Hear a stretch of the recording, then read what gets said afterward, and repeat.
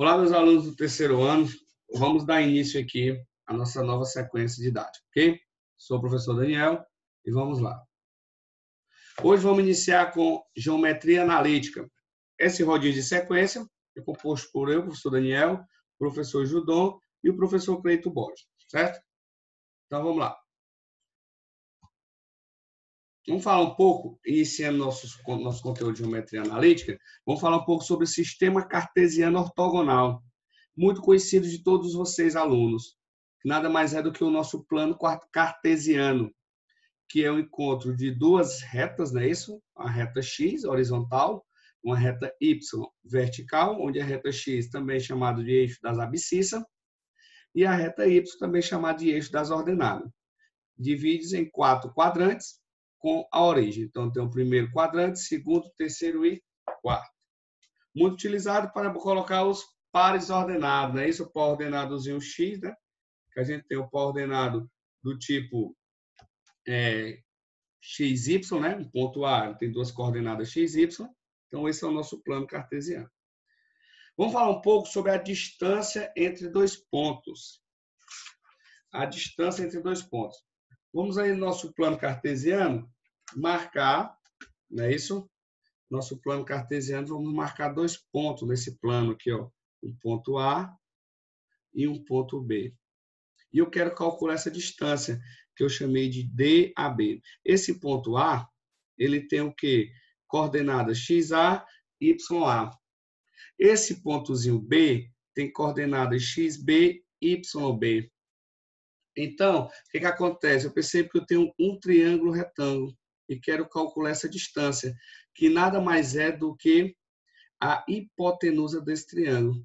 Então, eu vou ter o quê? Que a distância de A a B ao quadrado é igual aos cateto, que é o segmento AP, né? Segmento AP ao quadrado, mais o segmento BP. Segmento BP ao quadrado. Então, eu vou ter o quê? Que a distância de A até B ao quadrado vai ser igual. O segmento AP, gente, nada mais é do que essa taxa de variação aqui, ó. Delta X, que é a diferença de XB menos XA. E eu tenho aqui essa taxa de variação delta Y ao quadrado, que vai ser mais YB menos YA. Tudo isso ao quadrado. Então, a distância do ponto A ao ponto B ao quadrado é igual à raiz quadrada de xb menos xa ao quadrado mais yb menos ya ao quadrado. Então, dessa maneira, eu calculo que a distância entre dois pontos. Então, está aí a nossa formulazinha da distância entre dois pontos. Certo? Vamos fazer um exemplozinho aqui no nosso quadro aqui do Zoom. Então, vamos lá. Um exemplozinho bem básico, né? Vou colocar aqui. Um exemplo. Vamos lá, um exemplozinho. É... Calcular a distância do ponto A, né? Vamos calcular a distância do ponto A, 1 e 3, a um ponto B menos 2 e menos 5. Certo? Então, o que é que vai acontecer aqui? Ó? Vamos fazer o nosso plano cartesiano aqui e ver essa situação. Escrever aqui o nosso plano cartesiano. Certo? Plano cartesiano x e aqui a reta y. Vamos marcar o ponto A. Eu vou botar aqui em x 1, e y3. Então, eu vou ter um ponto A aqui, ó, mais ou menos aqui. E um ponto B, menos 2 em x, vai estar mais ou menos aqui, e menos 5 em y. E menos 5. Então, eu vou ter um ponto aqui, ó, que vai ser o meu ponto B. Então, eu quero calcular a distância do ponto A ao ponto B. Calcular essa distância do ponto A ao ponto B, é só aplicar a nossa formulazinha. A gente pode criar o triângulo, mas como a gente já sabe qual é a distância entre esses dois pontos, então eu vou ter o quê? Ó? Que é a distância que a distância de A até B vai ser igual a raiz quadrada de xb, vou botar xb como sendo menos 2. Menos 2 menos xa, menos 1 ao quadrado. Mais y, yb, né? Que vai ser menos 5, menos ya, que é menos 3. Tudo isso ao quadrado. Então, a distância do ponto A até o ponto B é a raiz quadrada de menos 3 ao quadrado mais menos 8 ao quadrado. Então, vou ter o quê? Que a distância de A até B é igual a raiz de 9 mais 64. Então, a distância de A até B é igual a raiz de 73. Raiz de 73 vai ser aproximadamente ou aproximadamente 8,55. Nesse caso aqui, unidade diária, porque eu não coloquei nenhuma medida no início. Então, nesse caso aí, ó, eu vou ter o quê? Eu vou ter é, a distância desse ponto A e esse ponto B, a raiz de 73. Então, dessa maneira, eu calculo a distância entre dois pontos, ok? Então, vamos fechar aqui. Vamos voltar lá para os nossos slides. Agora vamos falar um pouco sobre a divisão de um segmento. Sobre a divisão de um segmento por um ponto. Vamos observar aqui, ó. Observando, eu tenho um ponto A, né? Vou começar por um exemplo, né? O ponto A, que tem coordenadas.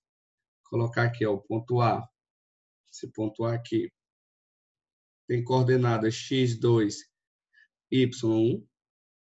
Não é isso? Um ponto B tem coordenadas x8, y4, e o ponto C tem coordenadas 4 e 2.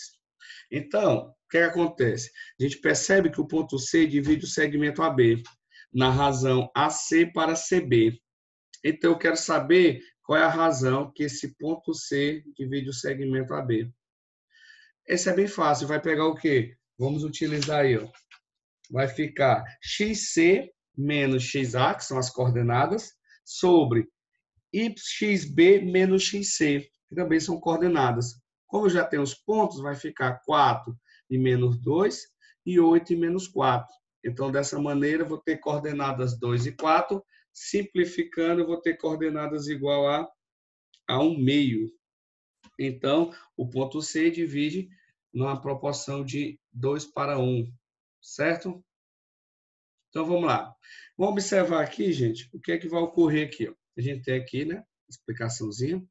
Agora vamos generalizar a forma de que a gente pode descobrir, né, que ele chama aqui, ó, seja o x, é, o ponto A, um ponto A, xa, ya, o ponto B, xb, yb, pontos colineares, com B diferente de C, né? São colineares, quer dizer o quê? Que eles pertencem à mesma reta, e quando eu falo em coplanares, eles pertencem ao mesmo plano, certo?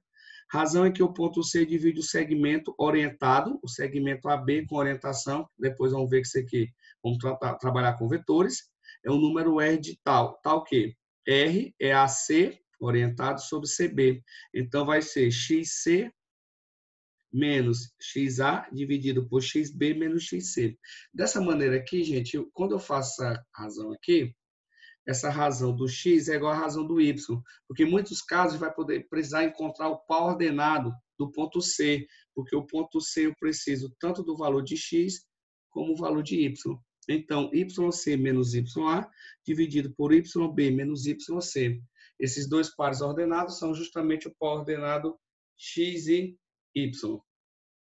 Então, nesse caso aqui, tem o que é a divisão de segmentos. Aqui, gente, eu tenho outro exemplo. Coloquei aqui para ficar bem interessante. Por quê? Vamos imaginar a seguinte situação.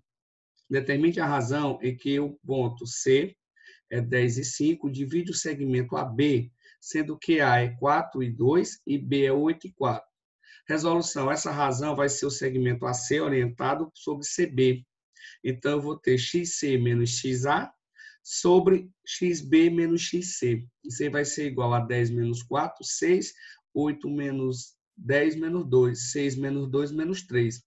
Então a gente percebe o quê? Que essa razão é negativa. Se essa razão é negativa, gente, o que, que acontece? Esse ponto C ele está fora do segmento AB. Então, quando eu tenho uma razão negativa, o ponto que divide está fora do segmento. Vamos voltar aqui, ó, que a gente viu nesse minuto aqui.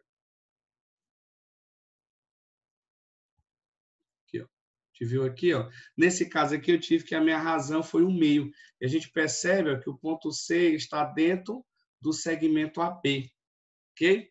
Então, essa é outra maneira. Agora, vamos falar um pouco sobre o ponto médio de um segmento. O ponto médio de um segmento é, nada mais é do que a gente encontrar a média entre as coordenadas, gente. Então, eu tenho aí uma coordenada AB, né, um segmento AB e tem um pontozinho M, onde esse ponto M é ponto médio do segmento. Se ele é ponto médio do segmento, ele é ponto médio das coordenadas.